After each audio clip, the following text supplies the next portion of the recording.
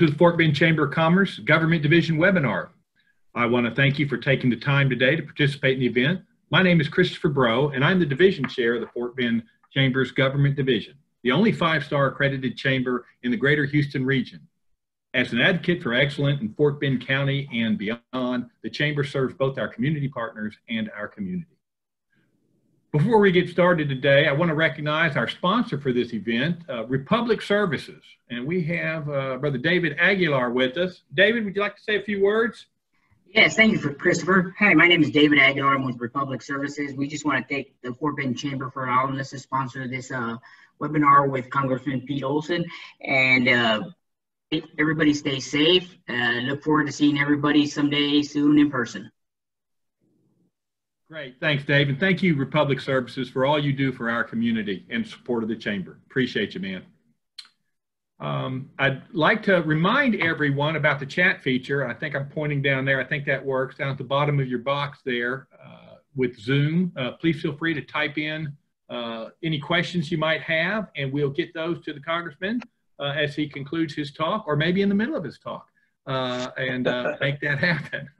I, you know, it's my pleasure to introduce uh, U.S. Congressman Pete Olson.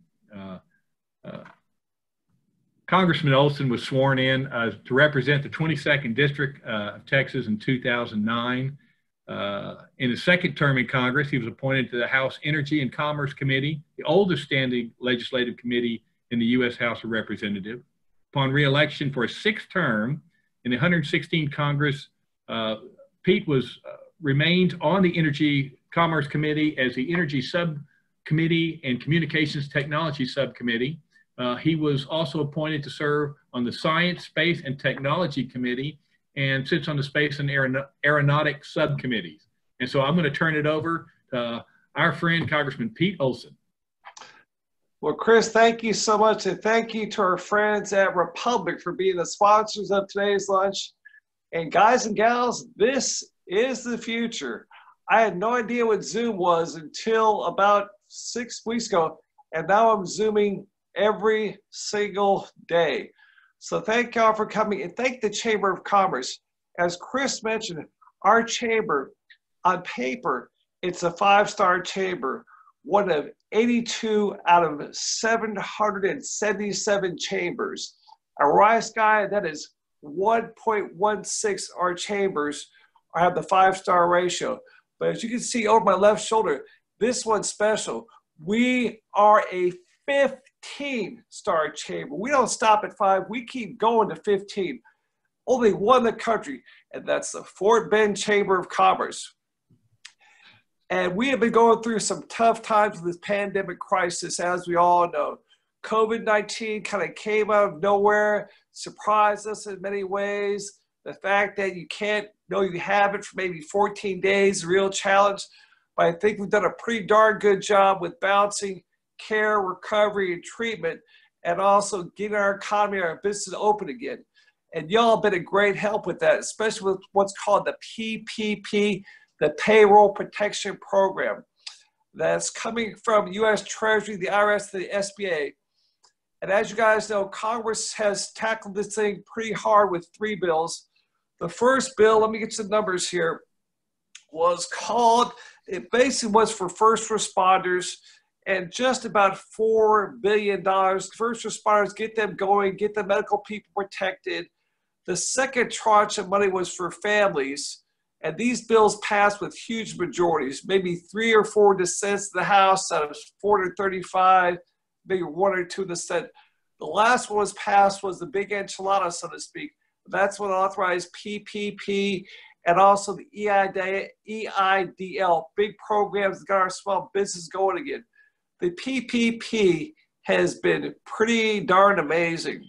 I mean, the Washington Post even said, the Washington Post said the PPP might have saved our economy. It had a rough start. We ran out of money very quickly, but we made some adjustments.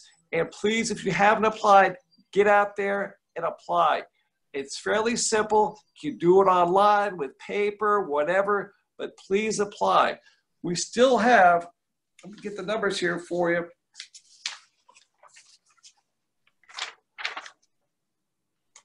We still have over a $130 billion out there for small business.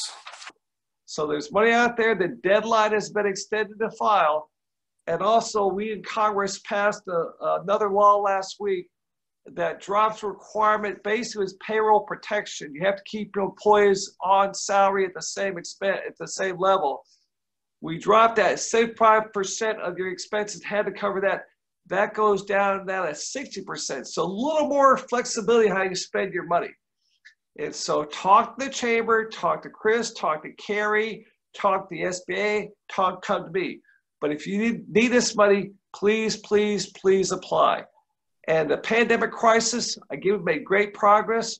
All I can say is keep wearing your mask, keep washing your hands, and keep six feet away.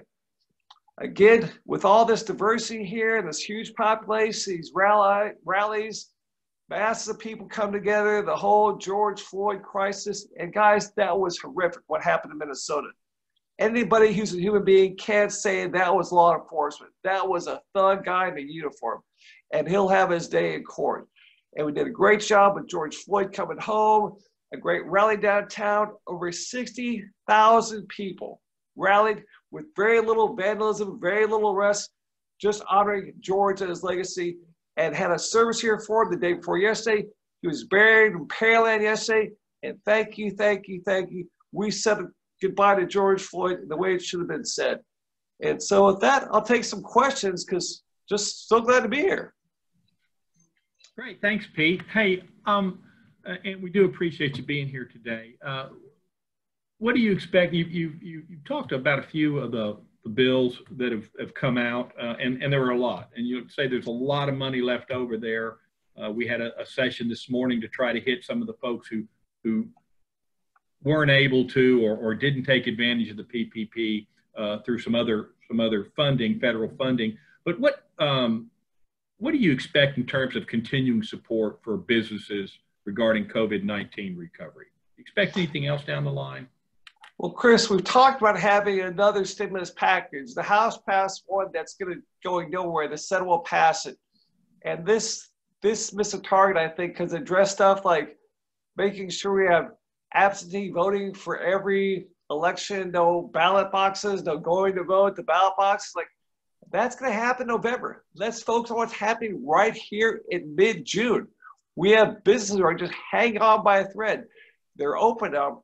And Chris, that as I mentioned, taking that level down from 75 to 6% is huge for our restaurants because they got hit hard. The restaurants were shut down and then they opened up. We had some guys tell us, well, great that I'm I'm in the second tranche here, the second opening, but I'm limited because Texas says I can only open to 25% capacity. So I'm paying the people if I got the PPP as I would have paid them before, and now they're not working. And so this doesn't work. At some point, I'm going to have to lay them off and maybe break the the PPP rules and face some big fine. So we addressed that by lowering the number and extending the, the, the coverage window just to get this out there because, guys, don't be afraid to ask for help. We're proud Texas, and Texas don't ask, like to ask for help, but please ask for help. It's not something you've done wrong at all. Nobody saw this virus coming. Nobody could see the impact it had on our economy.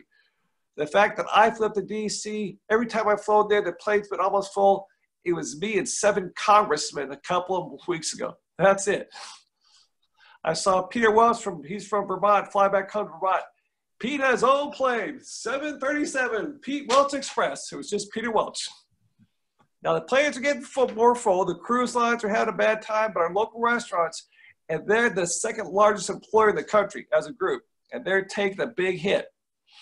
And so go there, go through the drive-through, you know, walk up, take out, and go have a dinner now, but comply with those social distancing rules. Well, uh, uh, thanks, Pete. Yeah, that's uh, it is difficult for the the restaurants with the, the, the social distancing requirements there, and and you know most of them are are um, are designed to be operating at full capacity to make any money. Yep, yep. And that's a small profit margin, Chris. As you know, right. those guys aren't just bathing in money. It's like okay. Yeah.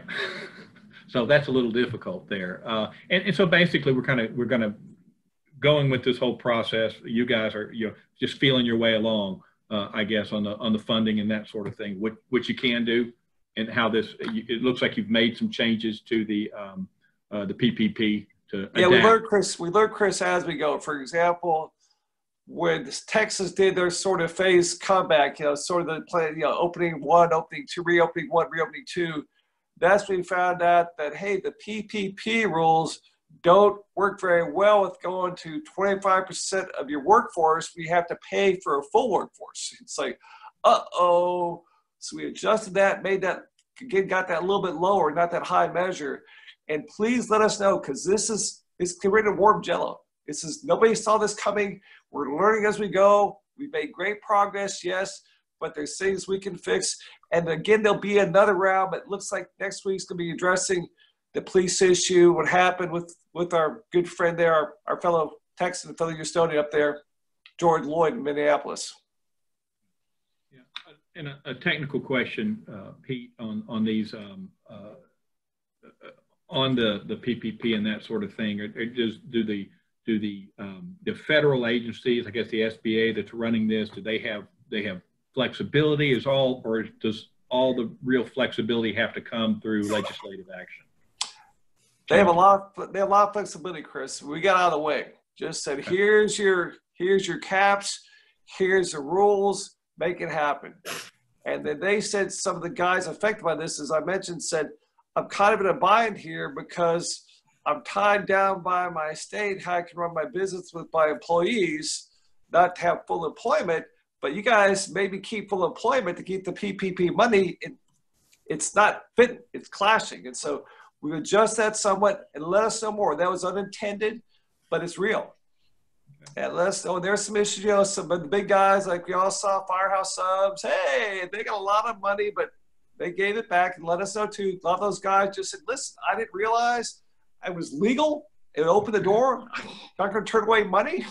Yeah, but I can raise money. These small businesses can't. They don't have the private sector power that I have. So okay, I'll give it back." Well, well, Pete, what do you what do you think is the most important thing for for the, the average citizen and the business owners in, in District 22 to remember in times like these? I think the best thing, as I mentioned earlier, Chris, is please don't be afraid to ask for help. We as Texans are kind of proud people just by who we are. The crazy people who came to this crazy hot state said, we can make this a place for cattle and cotton and crops. Hey, let's take on this big country called Mexico Let's take them on a small church with over 4,000 troops and less than 200 of our guys getting massacred. Let's flee across the state and go to San Jacinto take one last shot win victory and then be so in debt that we have to join America. My point is, Texans always overcome, but that's because we're not afraid to ask for help. So please, please, please don't drown. Don't be too proud. Call me up, call Chris up, call the chamber, any chamber in the region but ask for help because it's out there. Okay. Well, thanks. Well, let, let's, I'm, I'm going to get a little personal here, uh, Congressman Olson. What, what do you like best about uh, serving District 22? Just the people, Chris. I mean, we are America in a nutshell. Pure and simple. We have every sector here of our industry, our economy of transportation, medical, you name it. We got high tech, got you know restaurants and especially the diversity. I mean, this place, diversity is so amazing. The fact that in our schools, over 80 languages are spoken in classrooms all across Fort Bend County. And that's make this place so great. And oh, by the way, America sees that because guess what's the largest and bigger is always better congressional district in America? Texas 22. We're over a million people right now congressional size last before last census was about 725,000 people. So we're a quarter of a million beyond that right now and growing. And that's makes this place such a great, great place to represent Congress. Our diversity, the way we come together, doesn't matter. Harvey showed that. You would see people out there getting on these raging waves of water that were streets before, cars being swept away. They lock arms. They lock arms with, I don't care where that person goes to church, where they came from, the world, how much money they have. That purse, that car, don't know who they are. I'm going to rescue them. And what makes us great too is we don't wait for DC. disaster happens, just like this COVID 19 crisis. We want the help, but we're not waiting for it. We're stepping out and helping our neighbors and getting by. I hear you. Well, Pete, you know, you talk about the growth, the growth of the district now, and I guess every every ten years there's an opportunity, right, uh, to redistrict. What do you do? You see anything in the redistricting of 22? I guess will be smaller geographically. Yeah, Chris, we've got to take a cut somewhere. The numbers will come out. Please, the census is happening right now. Chris has gotten on the chair right now and said, please fill it out. You can do it online, via phone call, you know, send a letter. I did online. It took maybe 10 minutes. It wasn't very invasive, just basically who are you? Who lives with you? How are they related? What are their ages? That's it. It was nothing else about that. And where you go to church was just, you know. And so please fill out that census because that's money for Texas. All these federal grants, a lot are dependent upon your population. If we're undercounted, guess what? That could be money going to New York or California or Florida or Montana. That's our taxpayer dollars going to support their states. Let's bring that money back home. You do that by filling out the census. And Chris, Texas picked out four seats the last census, four congressional seats, twice as much as any other state. The most they picked up was two. We're picking up at least three this time. And that'll be the most in the country because we have this great business climate with, with the 15 star chamber here in Fort Bend County.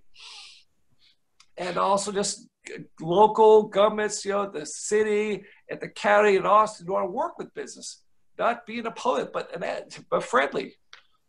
Support them, and that's why people are coming here in droves. Well, well, Pete, let me ask you on uh, District 22. What would you like to see happening in District 22 over the next decade? Or and and what does your um, uh, the, the person person's going to succeed you, your successor? What what do they need to know about District 22? Uh, Chris, the thing I'd like to see is just keep on doing what we're doing. Okay, keep ahead, but keep don't be afraid of this growth.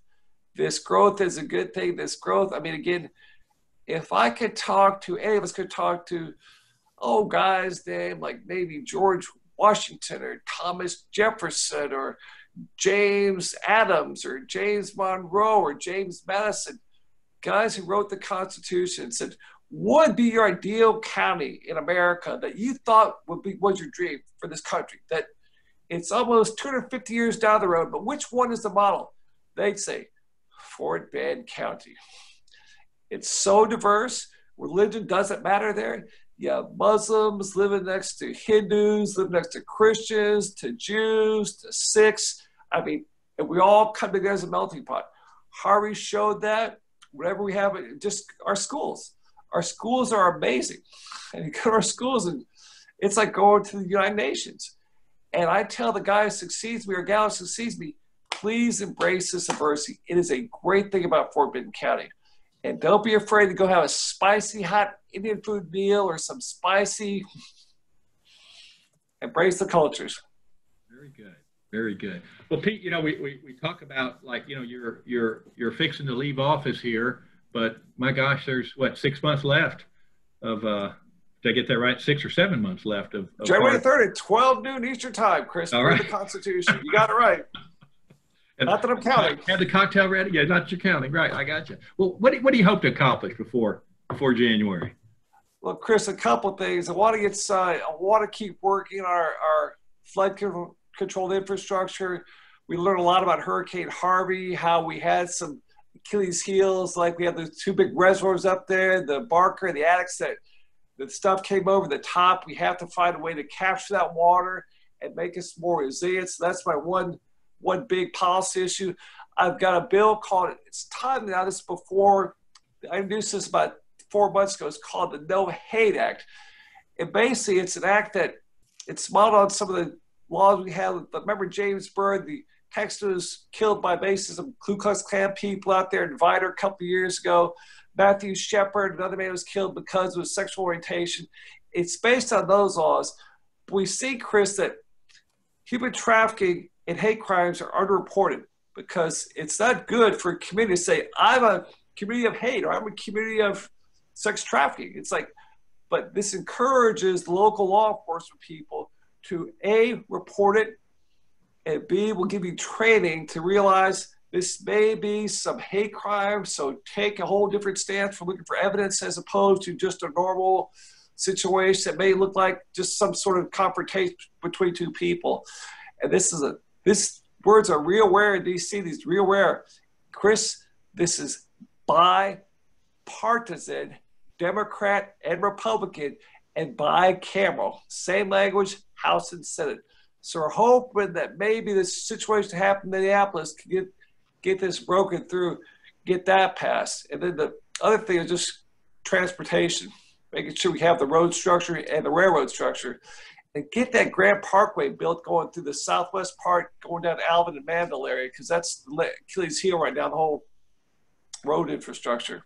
Oh, yeah. Yeah.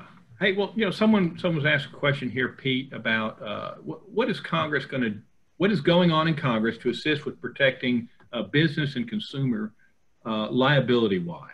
And I, they're not quite clear here, but yeah, that's that's big. Yeah, Mitch McConnell, Senate leader, said the next bill for PPP or anything like that for the COVID nineteen crisis will have some liability protection in it. Now, that's caused some objection from the other side of the aisle because they don't like that. But Chris, we got to have that. I mean, you got to know somebody gets pops positive with some COVID nineteen they may go after the doctor, the ambulance driver, the hospital they're taken. Who knows where led, or the restaurant they might have got infected. We have to have some protection for these people, and that's we're hoping that'll be the part of the next. But again, it looks like this next few weeks we'll be looking at this whole uh, police brutality issue, stepping up what happened in Minneapolis. But I've got my eye on making sure that we pass something for COVID 19 that has some liability protection for small businesses that are just doing their job. No fault of their own, something bad happened, but you can't control it. I mean, it's so crazy, Chris. I go to hospitals now or fly the airlines. I get just walk up automatically, pull my mask down, they take my temperature, put it up. We've changed, but the point is, that's protection. That's all you can do. That may not protect the virus from spreading, so you can't be liable because I did all I could do. Listen, I have limits, and this did nothing wrong. But sadly, some people try to use this to make some money. Yeah, it seems like you would have some, you know, some some level of responsibility, you know, for conducting a, a business that's that's safe, um, but but you can't control everything, and it's. Um, yeah, exactly. Yeah. Can't control walks in there. The fact that listen, I was fine, and then I got home a week later after I went to a restaurant. Then I got a fever and a little cough. I'm sorry. I guess the doctors told me, boy, I went to a restaurant. I had that in my body. So, oh, that person at your restaurant got it too. Oh, you're the bad person. No, no, you're not a bad person. Yeah. You're just overwhelmed by this virus, like many of us were. Right. And so I'm hoping I'm going to push hard the next thing that deals with the COVID 19 to have something protect our small business in that bill because it's got to happen. Okay. Well, I've got a question, and I don't know. Uh, let me ask. You know, so so someone talked about uh, uh, Dr. Dr. Fauci. You know, uh, uh, pushing for mandatory vaccines. I don't know that necessarily the case, um, but because I don't think man, I don't think vaccines are mandatory, but they certainly are suggested. Um, uh, you, have, you have any thoughts on on on vaccine? I mean, we don't have one yet. It'd be great to have one, but do you have any thoughts on? on yeah, Chris, we expect it. They take a long time. President Trump has done a good job cutting some bureaucracy, get those to the market. There may be one out, Chris. They say it takes about a year because Dr. Fauci has been a big proponent of that. But he says, listen, you can't, you cut some quarters, but you can't, you know, basically a vaccine, you put the virus in a we can form into a human's body. So if we don't test this properly, we can make it worse by injecting and making people sick. But I've never heard him say it's mandatory. Uh, that's it's all our vaccines, like smallpox, all the vaccines, you know, polio vaccine, they're not mandatory. I guess polio may have been because we all have that scar, but then we started to learn a lesson because, you know, vaccines, there's some people out there that no vaccine, no vaccine. This is their body. Okay, if they don't have vaccine, we can't forced, I don't think, to do that, but we can encourage them and hopefully get one out there because we've got one for Ebola. after the Ebola crisis. You know, it's a very small number because it's not needed, but we have a vaccine now for it. Right, right, absolutely. So, so we're, I mean, folks are working hard to make that sort of thing happen. Um, you know, you, you talked a little bit, um, and another, there's another question here. I think I know the answer to this. How do you feel about defunding police departments? Uh, that's anarchy, Chris. And that's that's just it's police departments need to be changed. And there's some things, you know, they're good police. They're certainly good cops. Most of them, probably 99.9999% are good cops. But you have a road cop up there in Minneapolis who got the whole country fired up. Now we can do some reforms. I mean, I've had some colleagues who've been. One guy was law enforcement in Minnesota. He said, "Yeah, I live there. Costa Minneapolis did not have a good reputation, and that starts at the top. So, for example, uh, one thing that we saw with this tragic thing with Mr. Floyd was two of the police officers, the, the four there, were brand new, and they just sat there and watched it happen. Now they've been charged, but my point is, in the Navy, I was in the Navy for nine years the most junior said when he first showed up and said, You're a safety officer. If you see something wrong, something that makes you concerned, speak up. It may be stupid, but you won't be ridiculed for it. You'll be encouraged to speak up. We should do that with our police force. Hey, young guys there, just say, dude, get off his throne. He can't breathe. Instead of sitting going, wow, it's my third week out here. I don't know what to do. I'm a young guy. I'll just sit back and this guy's you know, just say say it. And also, crucially make sure that this goes higher up the chain of command. It's not just a bad cop. Hey, chief, you signed a document saying this guy's good to go on patrol by himself. He's out there because of you. You should lose your job. Like had a guy, uh, the aircraft carrier Harry S. Truman, the skipper lost his job because COVID-19 broke out upon his ship. Could he control that? No, but it happened on his ship. The skipper's responsible. Same thing with the police force. Happens on your watch. Bad cop, how come you got him out there? That'll make them that attitude of, hey, speak up and get more stronger when the guy at the top knows I'll lose my job if I don't encourage the younger guys to speak up if they see something wrong. And the older guys, or we're guys who are a little abusive, that sort of back off, knowing that, wow, I'm going to lose my job and take a lot of people down with me. So this, you know, it's it's a culture that has to change. That's going to take some time, but defunding the cops is just not the answer. That'll be that's anarchy. And so people I've talked to colleagues who served in Iraq and said they've seen anarchy. It is not a pretty thing. It's like a Hollywood movie. People just getting gunned down right in front of you, looters happening. It's just total it's Armageddon. So we can't go down that road. Well, and I imagine there's a lot of there's a lot of uh, uh, I'm I'm sure Congress is just full of ideas right now. Oh yeah, yep, yep. And so what? Like there's probably a hundred bills out there right now. Yeah, yeah. Anything anything getting traction? Well, there's a couple that the Democrats have a bill in the House. I'm going to have a hearing on it today. We had a call from our side on it yesterday. It's very positive. There's some differences for sure, but a lot of the things they're talking about, like the uh, the chokeholds, you know, the why is that allowable force, and sort of ways to change the culture. For example, Camden, New Jersey fired their whole police force, but people say that, but they rebuilt them. You know, basically got rid of the rogue actors, but fired all of them and started picking the ones that came back. It got this whole new attitude about, you know, see something, say something, as opposed to being so in, inclusive, exclusive, that they've turned that around. So maybe something like that, you know, just get, get that whole attitude of, hey, listen, you're a young guy, you're on patrol with a senior guy, he's doing something you think is wrong, say something. Maybe not to him, but get back to your superior and say, listen, he did this or he did, you know, whatever. But that didn't happen in Minneapolis for sure. The young guy just watched it knowing that this guy's dying. He said, I can't breathe. He's being choked. And Chris, was his crime? He passed a $20 hot check. It's nothing worth deadly force. I mean, it's a forgery.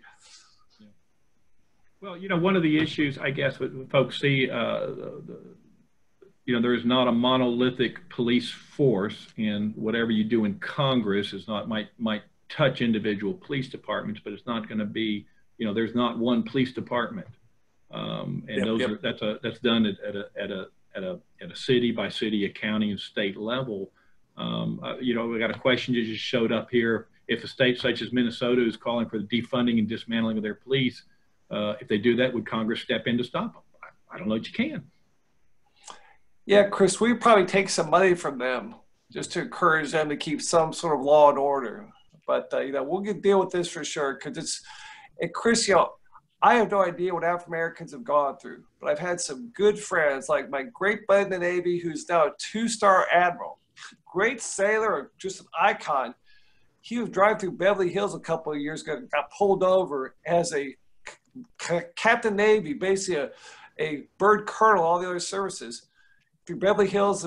Nice car. Why was he pulled over? Well, because he was black. And we got to stop that racial. I've never dealt with that. I have never been pulled over just because of my skin color. And after this happened, Chris got a letter from a constituent. He said kind of the same scenarios up there in San Francisco. Successful black business owner got pulled over 13 times in one day. One day driving through a nice neighborhood up there in San Francisco just because he was black. And I don't know why that happens, but that has got to stop. I mean, I've never experienced that. I, I hear it now. I'm learning more, but please, please, please, let's have compassion. Realize this is a problem. Our African American brothers and sisters are not so for some reason law enforcement profiles them, does things they don't do to Chris Breaux or Pete Olson. That has to stop. Blind justice. Hey, Pete, I've got a question here. Um, I, I'm unfamiliar with this, but the uh, can you can you touch on the Align Act? Yeah, the Align Act, Chris. That's uh that's going through the Senate right now. I'm on that bill in the House, and that bill basically, Chris. Let me get the numbers for you. It's a S thirty two ninety six. This is by Pat Toomey up there in Pennsylvania. But basically, what this does is allows long-term investment. It basically gives preference to long-term investments because right now it's kind of short-term, short-term, short-term. And this allows tax deduction of longer-term investments make sure you're encouraged to take that risk, basically a long-term risk, get some recovery, but something that a little slower than DC wants, but still, if the money's going to come. And uh, we have, I think, 20 or so co-sponsors on the House side now, and this would be a good start. Would this help us recover from this Corona crisis, the, the COVID 19, because another arrow in the quiver, so to speak, to help out businesses with a tax incentive to get more money in their business and get out of this, out of this situation.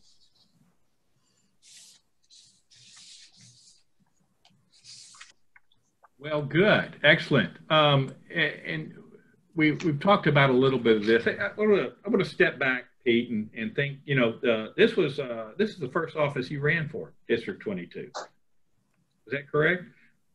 Yes, sir. Yep. a little too late to tell you. What are you doing? Uh, what, what do you what, what advice do you give other folks who are running for office? Maybe maybe you know Congress or, or state or something local. What what what advice do you give those folks? All the same, Chris. Remember, we the people. Mm-hmm. You're a public servant. You're not, you serve them. And also, I tell people, especially running for Congress, um, get your butts home every time you can. Go out, engage, especially this diverse community. You're going to have to know, for example, Chris, uh, you're going to have to probably learn how to say namaste. That's hello, goodbye to Indian Americans. You may learn about festival called Holi from that same group. You'll know about Ramadan. You know about Passover. You know the fact that um, Asian, there's a big uh, boat festival here, Dragon Boat Festival on, on the Floor Lake over there. Um, it's called the Cultural Arts Festival, but it's a big kite contest, big contest for Asian Americans in our parks there. My point is go engage and embrace this diversity because it's such a special thing. You learn so much more about America, what makes us great, by engaging. And come back home. Get your butt home. Don't, don't stay in the Beltway. And don't be afraid to laugh. I mean, just, yeah. you know, don't be afraid to be, you know, like maybe go to the Chamber of Commerce gal, you put a little Devo hat. That's like the rock group Devo. Uh, yeah, well, Pete, what I've always enjoyed about uh, coming up with the Chamber of Commerce to your office is you've always you've always pointed out to your desk and say this is your desk, and so we've really appreciated that. Uh, Big sign behind there. Remember Ray Aguilar put his feet up on the desk and kick back, but yeah, Ray, it's your desk. You do that. Yeah, you probably should have called security on Ray. That's. That'd be okay. Oh man. Uh, well, um, so if we talked about you know going uh, in in and again, I'm not. Uh, I know you got a lot of time, you got a lot of activity, a lot of things you're trying to accomplish before you leave office. What what do you have you thought of any plans after office? Chris, I'll be back home here. I mean, my wife Nancy's been such a champion. We've been married now for 26 years. And our first year of marriage was okay, honey, I'm married for seven months. I'm going overseas for six months. Okay. Came back home for six months right before Christmas. Hey, we're home. Our squad is being shut down. Cold War is ending. Yay, we'll here be in Hawaii for months. I was ordered to DC within three weeks of coming home. Okay, Nancy, pack up all our stuff, come across the ocean, come across the country, get there before Christmas. And Chris, she has done everything I to support my career. It's time to support her career. And also, her mom lives with us now, and she's got real issues with dementia. So it's time for me to come home. So I'll do something out there. Mommy says you gotta still work, but I'll do it here. Maybe with you know the old John Doe group out there. No, just kidding around. I don't know no accounting skills, but something I care about locally. Very good. Very good. Know, we talked about uh, you know the, a, a, lot of things going on, and and and and I can only imagine the number of bills being um, uh, put in right now. What what do you think realistically Congress will accomplish before the end of the year? Not a whole lot, Chris. We're getting to the election mode right now, and um, it's got to be the hate act I've got out there, minor act compared to some of the big ones, has a chance because it's bipartisan, bicameral. We're addressing transportation, though. Gray's going to talk tomorrow about transportation infrastructure that's been things both parties want to address, but how to pay for that's been sort of a breakdown. The other part wants more taxes. We want more private sector, and that's, but that may happen. We'll do something called the National Defense Authorization Bill that gives DoD policy, not money per se. Mm-hmm. We have to fund the government after September 30th to avoid a shutdown. Uh, we've always done now. It's called a CR, continuing resolution, just kick the can down the road. We'll probably do something like that just to get through the elections. And the elections, who knows? You see the polls just up and down, up and down, up and down, up and down. But, um, you know, there's not a lot of hope for nothing. It's got to be bipartisan. And, um, you know, again, the PPP stuff has been that way. The COVID 19 crisis has been that way. There's been some politics as well but basically, we came together on four bills, not the little bill to kind of alter the, the, the percentage of spending money. against 75, that was not a spending bill per se, but change the numbers. That may happen to more tweaks just because what we learned for you guys. Hey, this is not working. Okay, let's change that. Again, that was just one dissent in the House. Just one person said no. It's like, I don't know why he did that, but Everyone's got their reasons, right? Go tell your small business, okay, I, I want to hurt you. I didn't want to do that, but still, it's just I don't want to know why somebody did that. I do. I do have a. I do have a comment on here about uh, you being uh, the best Devo at the uh, at the Chambers uh, gala. So good job. Whip it good. yeah. Uh, here's a question. Um, uh, and, and, I don't know if this is in your in your um, uh, uh, wheelhouse, but I'll ask it to you anyway. Um, will contract tracing be mandatory and pushed through as a law, or be voluntary? Good question. That's right now, Chris. That's not been a federal issue. That's been local. The KP George, our judge, has got a tracing effort going out there. Greg Abbott, our governor's done one.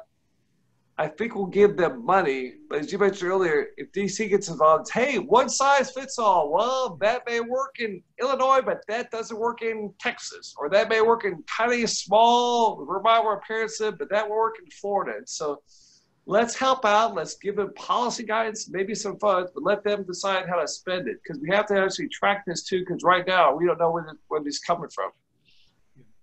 Our nursing homes, guys, remember those? They've been hit hard. Our nursing homes have been hit hard. We're trying to get them. It's right now too, Chris, with hurricane season here. A lot of guys in nursing homes said, "Man, if I have to evacuate people with COVID, that's not going to fly. I'll be just keep going, keep going. Don't stop here. Keep that. So we're going to make sure those people can't get out. Now, Greg Abbott, governor, is working on a plan to do that as well. That came out when he announced some stuff about Harvey, about the hurricane season this week. Yeah, and I guess a lot of folks there's you know there's there's things that the, the federal government does and things that the local government does, um, and and sometimes we get confused as to who's doing what. Yep, yep, yep. I think probably the the the default is you know let the states handle that. Uh, if they can't handle it, we turn it over to the feds. Remember, Chris, our title of our country, the United States of America, not the federal government of America. It's the United States. The emphasis was on power with the states. Right. Very good. Okay.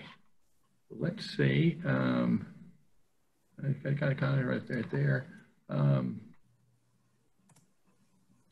I think we talked about your uh, your your most favorite thing about District 22. What what you pre- no no no. Here's the one I wanted. That's that's the one. The people, the it. people, the people, the people. I know you have your people. I love it. No, it is. No, you're right, and it is the people. I'm, I'm playing with you. But but what what's your biggest accomplishment? What do you think is your biggest accomplishment? in, in District 22? Well, Chris, there's two accomplishments. Being a member of Congress and passing laws, it's not a law per se, got in a law, but it was a big deal for our hometown of Sugar Land. We have the best EMS vehicles in the country. We have two or three of our own EMS vehicles now. We got caught by DC. We bought these things in about 2013, Chris, to bring them online. There'd been a moratorium because of Medicare fraud, Medicaid fraud in this region. No more EMS vehicles for anybody. No more. It expires January 3rd, 15th, whatever, of 2014. And we being Sugar Land thought DC will keep their word. Let's get these vehicles, get that reimbursement part of our financial portfolio. And then they extended the deadline after we bought the vehicles. All of a sudden, we're in crisis.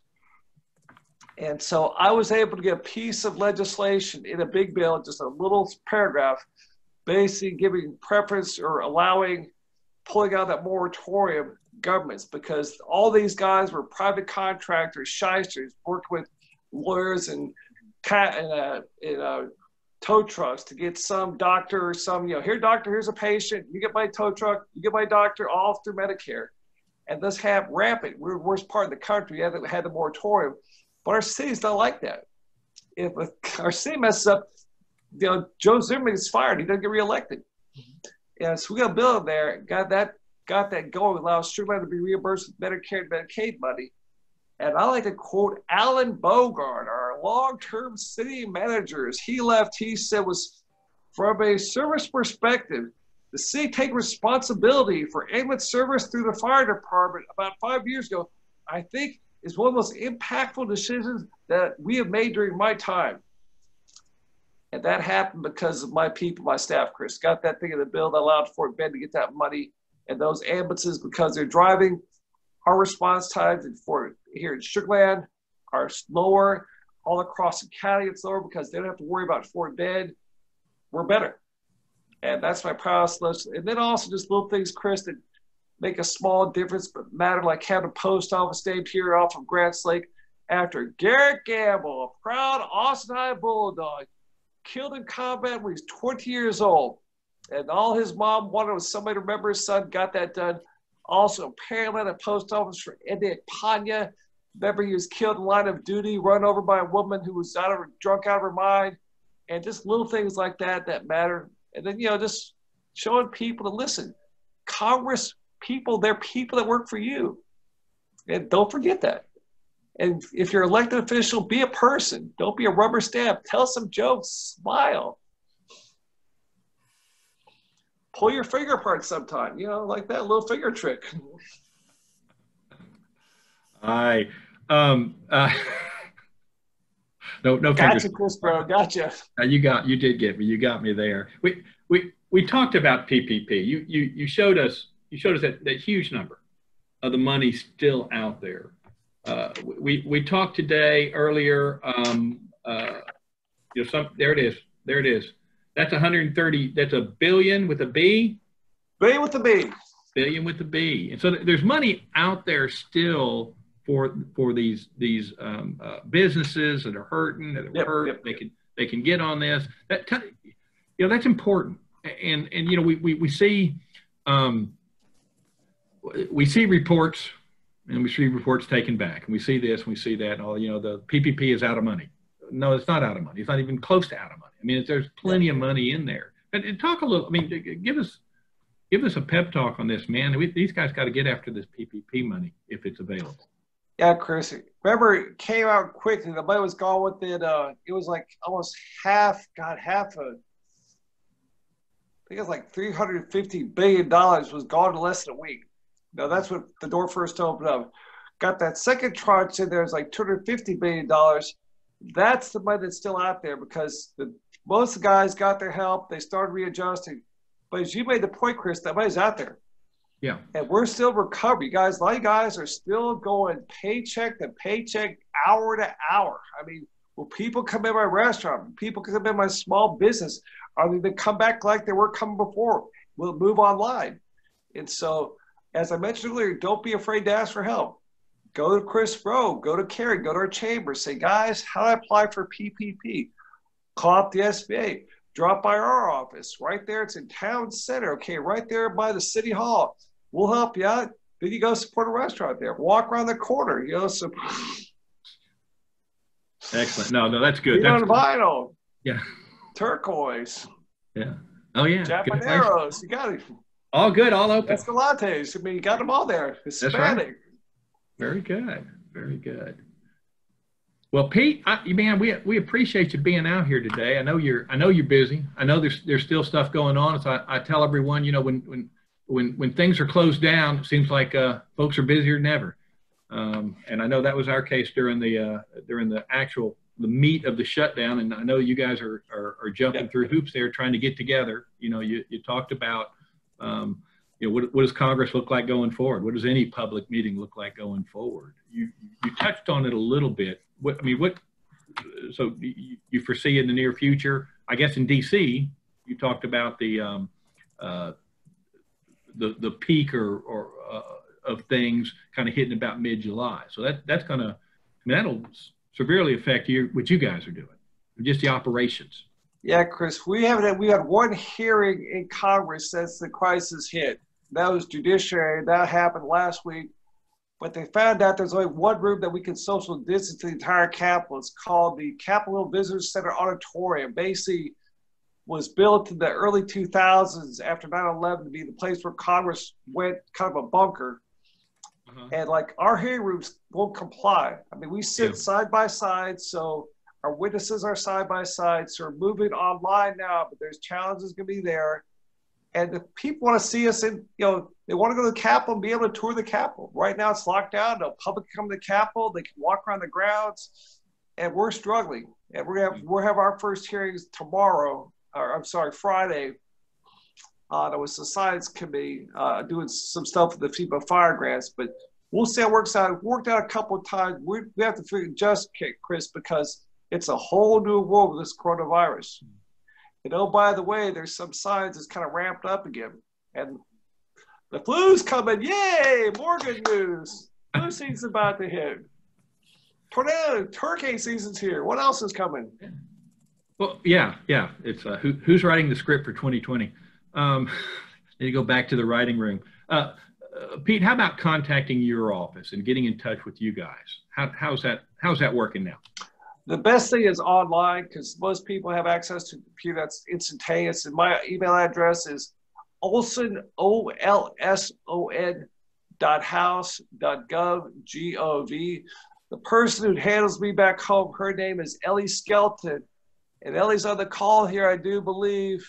Ellie, well, you go down to town center, support a restaurant, support a small business, drop by your office there. It's not quite the chair like in DC, not quite the acclimate, not quite the scenery, but still your chair.